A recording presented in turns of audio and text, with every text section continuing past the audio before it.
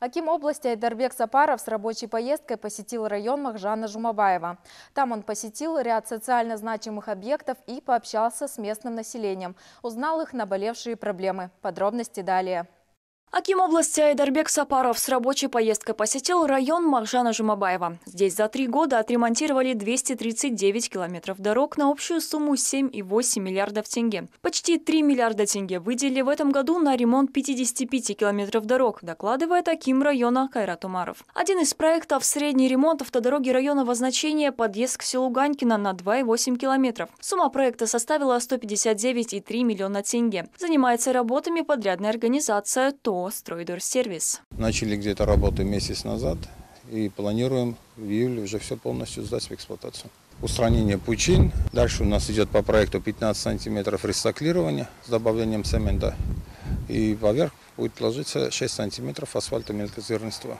Проект должны были сдать 30 июня, но, по словам подрядчика, этому помешали дожди и затянувшаяся поставка стройматериала. Айдербек Сапаров поручил Акиму района взять работу на контроль, а также строго проследить за качеством дорожного полотна технадзору ТО «Есильстройэкспертиза». Работы закончить нужно до 15 июля, подытожил Айдербек Сапаров. Далее глава региона встретился с населением села Чистовского. С докладами выступили Аким округа и руководитель хозяйства. В свою очередь у сельчан вопросов руководства накопилось накопилось немало.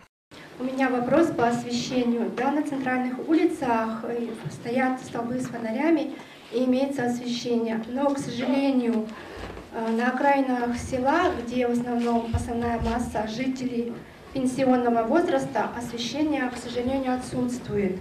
Будет ли отремонтирована наша водонапорная башня? Вот башню сделали, но обследовав саму башню, она, получается, находится в аварийном состоянии. Наше видение такое, что ее э, требуется полная замена. Э, свой ресурс она уже истощила.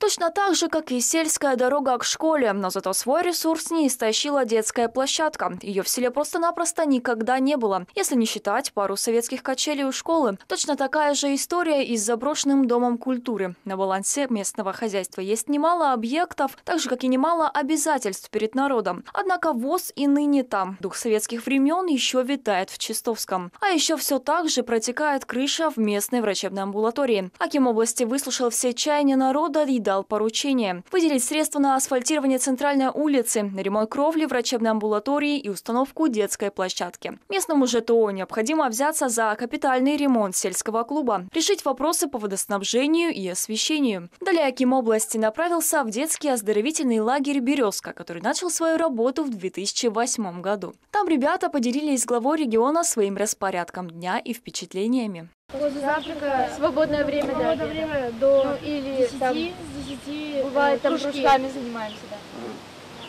А какие кружки здесь?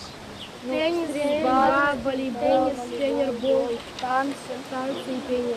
54 ребенка. 54 ребенка. С разных сельских округов, да? Да, с Каругинского сельского округа, а Булаев, города Булаева, с Хлеборобы, Докшказахская школа есть, угу.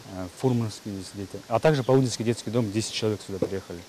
Мы ежегодно ну, приглашаем с детского нашего дома детей для полноценного отдыха. Протяженность э, сезона 10 дней. 19 июня мы открыли первый сезон. За каждый отряд закреплены по два сотрудника вожат, вожатых и у них старший вожатый есть.